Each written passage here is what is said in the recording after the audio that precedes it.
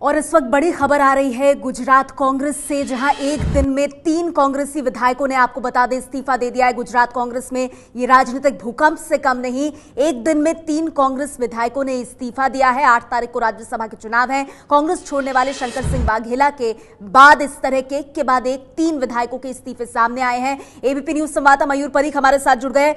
मयूर, ये इस्तीफे क्यों दिए हैं? कुछ समझ आ रहा है? और इससे तो अहमद पटेल सरीखे नेताओं की राज्यसभा में चुनाव के जो चांसेस हैं, वो भी कमज़ोर पड़ जाएँगे।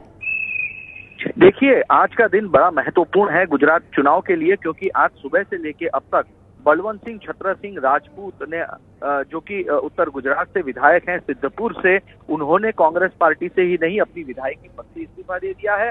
उसके अलावा तेजस्वी बेन पटेल, जो कि बीजापुर से विधायक हैं, उन्होंने इस्तीफा दे दिया है। और पी आई पटेल, जो कांग्रेस के विधायक हैं, उन्होंने न सिर्फ़ एमएलए पद से इस्तीफा दे दिया है, बल्कि भारतीय जनता पार्टी में आज वो जुट चुके हैं।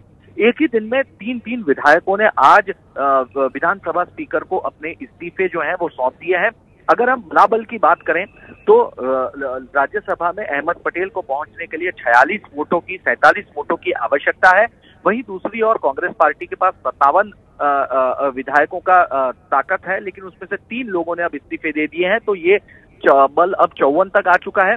अभी भी शंकर सिंह वाघेला उनके बेटे महेंद्र सिंह वाघेला उनकी रैली में आए राघव जी पटेल ये तीनों ने इस्तीफा नहीं दिया है। इतना ही नहीं आ, आ, शंकर सिंह वाघेला के साथ क्लोज डोर मीटिंग कर चुके दस विधायक जो कि अहमद पटेल के पर्चा भरते समय भी वहाँ पर मौजूद नहीं रहे। उन दस में से एक भी विधायक ने अब तक अपना इस्तीफा नहीं दिया है। ये उसके अलावा अन्य विधायक है जिन्होंने इस्तीफा दिया है। निश्चित तौर पर बड़ी जानकारी मयूर आप दे रहे हैं और क्योंकि छियालीस विधायकों का तो कम से कम समर्थन चाहिए राज्यसभा की सीट वहाँ से जीतने के लिए तो ऐसे में अहमद पटेल आठ अगस्त का उनको इंतज़ार होगा लेकिन उससे पहले जिस तरह से एक दिन में तीन विधायकों के इस्तीफे हुए हैं वाकई में गुजरात कांग्रेस के लिए ये बड़ा राजनीतिक संकट है। शुक्रिया मयूर आपका इस पूरी जानकारी के लिए।